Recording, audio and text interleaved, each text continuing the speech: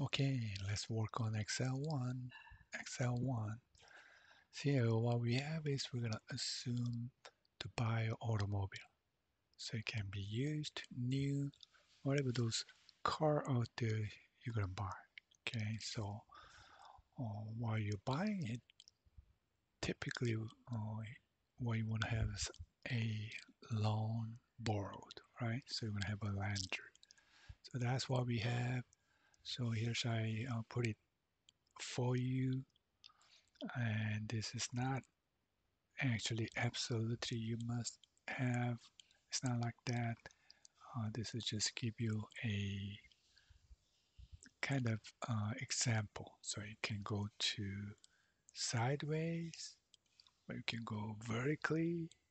Really doesn't matter. The layout is fine as long as you accomplish those steps. Okay, so here's what we have.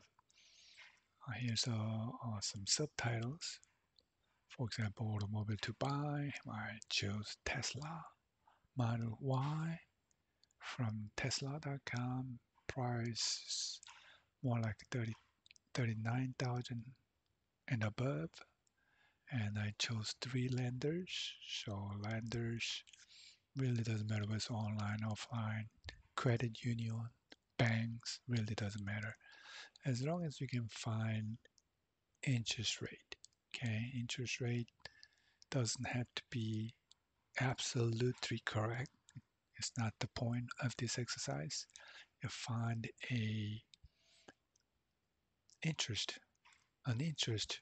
It doesn't matter if you couldn't find it. You can reach even a random uh, interest rate.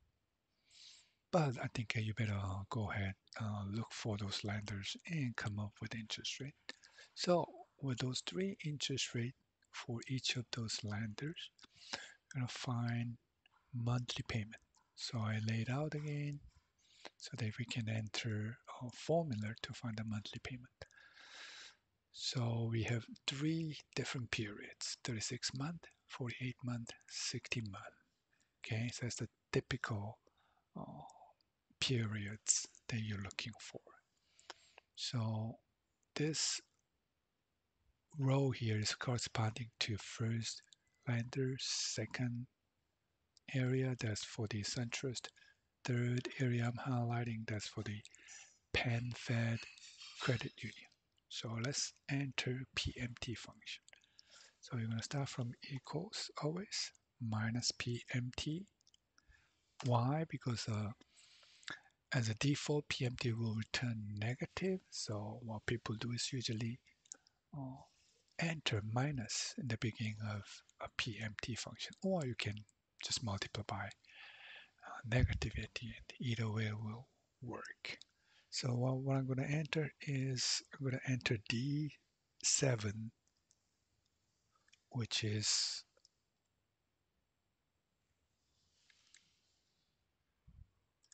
which is the uh, interest rate for the Ameris Bank, right? 5.5%. Then you divide by 12. Why? Because we are doing monthly payment. If you're doing monthly payment, you need to divide by divide the interest rate by 12. Okay, so that's the point here. However, I think I made a mistake here. If you took BUSA 2010, which is a microcomputer application, which is Excel, uh, you know how to use, you suppose know how to use dollar sign for what we call absolute cell reference so that column D will fix as you copy to other cell. However, 7, which is row number 7, will remain uh, remain relative, meaning that it's going to go up to 8, 9, 10 as you copy further down. All right, so if you don't understand absolute cell reference, you can always uh, look for help on Excel, then comma, then I'm to enter the total number period, which is 36. So however, we don't enter raw number, right? In Excel, you always try to use cell reference, which is in this case F6. 36 is located F6, right? So rather than just type it in, you again, you better use just you better just click the cell, right? Because you always chance you're gonna make a mistake. Uh, again, we, I'm gonna need to enter dollar sign to six, so that six would not change to seven, eight, nine as you copy to other cells. However, F will be changing to G, H, I, whatever those next cell that you're gonna copy to, right? Uh, anyway, F6, which is 36, comma, then you're gonna enter the the uh, present value or loan amount. In this case, automobile price, which is located in C4. So C4 also must be fixed.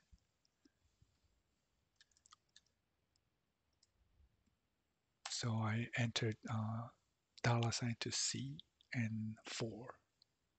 So that's what I have. And I'll have $1,204 in change. That's the monthly payment for 36 months. Then all I have to do is just autofill, right? Autofill go downwards. Then once you have that downwards, then I'm gonna just autofill to the sideways. However, this, you know always chance you could make a mistake, so I'm gonna just manually check whether I have the right, the correct formula. So D7, yeah, divided by 12, and G6, which is 48 month, yep, C4, which is the car price. It looks like fine. Okay, so that's the first section of our calculation. Okay, second calculation, while looking inside uh, set up for lowest monthly payment. So among those nine different scenario, which one has the lowest amount? right there, right? 715 for SunTrust because it's got 60 month period of loan, right? So that's what I pick up here. And idea is I want to increase, I want to increase the loan period by one year, which is 12 months, right? So that'll give us 72 months. So using this new scenario, I'm gonna find monthly payment using PMT again. So start with equals minus PMT interest rate divided by 12, right? So that will give you our first variable. Then second variable after comma will be number of period. I mean number of number of month in this case, which is 72 right? So I'm going to just click that, comma. Then automobile price, which is located in C4. That's it. So this is the new monthly payment, assuming you're going to increase the loan period by one year. Then you're going to ending up paying $604 instead of $750. Right? A little bit more than $100 you can save by increasing one year. So that's what we're looking at right there. All right, so next steps that we need to go through is we're going to locate again, this time, the highest monthly payment. In my case, the highest monthly payment is located actually right there, right? right 1200 so I think there's a typo 1204 82 for 36 months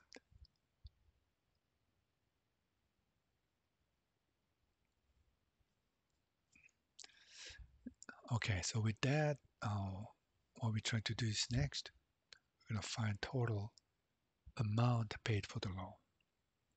So how are we going to find it? Right there. So you take the monthly payment, which is the uh, 36 months for Ameris Bank. Then. Multiply by 36, which is located in F6, right? So that's what we have. So that'll give us total amount paid for the loan.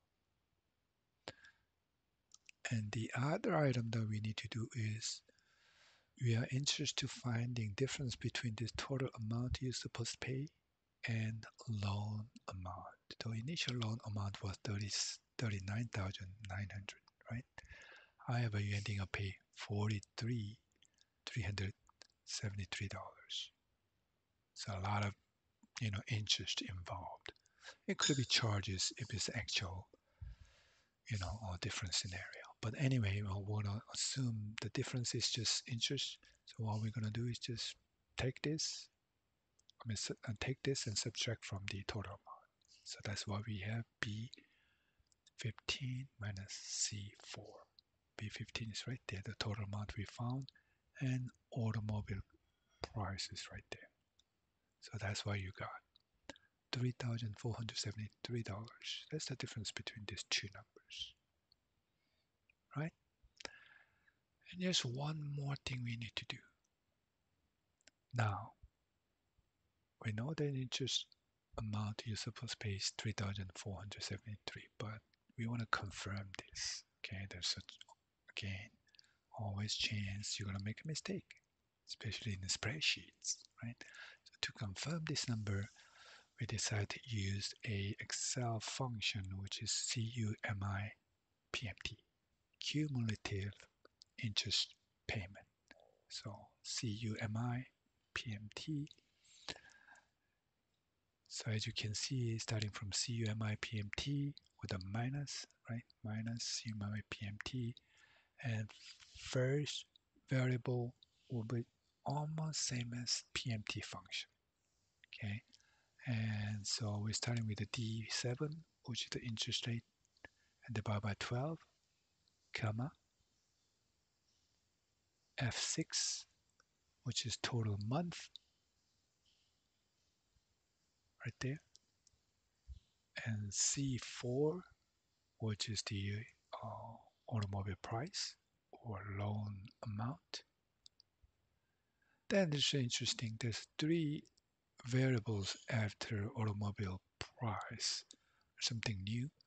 First one is the first period of this loan scenario, which is number one, right? Starting with one through 36 months, right? So that's why you have one and 36 indicating first period, 36 indicating the last period, okay? Comma, zero. You enter zero for the uh, for the beginning of the month and enter one for the end of month uh, for uh, for the payment. So we enter zero, assuming the uh, first of the month. Then you press enter, and you got three thousand four hundred seventy-three dollars, which is exactly same as the difference between total amount and car price. So now we can confirm this amount is correct. And the other one, which is the lowest monthly payment we found, which is 715, is coming from here. That's exactly same step. You find total amount paid, which is 715 times 60. So that'll give us $42,910. Then again, you're to find difference between this amount and automobile price so if you found that, then using CUMIPMT, I want to confirm whether this interest paid we just found is correct. Okay, so that's basically what we have. And no, I went through pretty quick, but um, if you have any questions, let me know.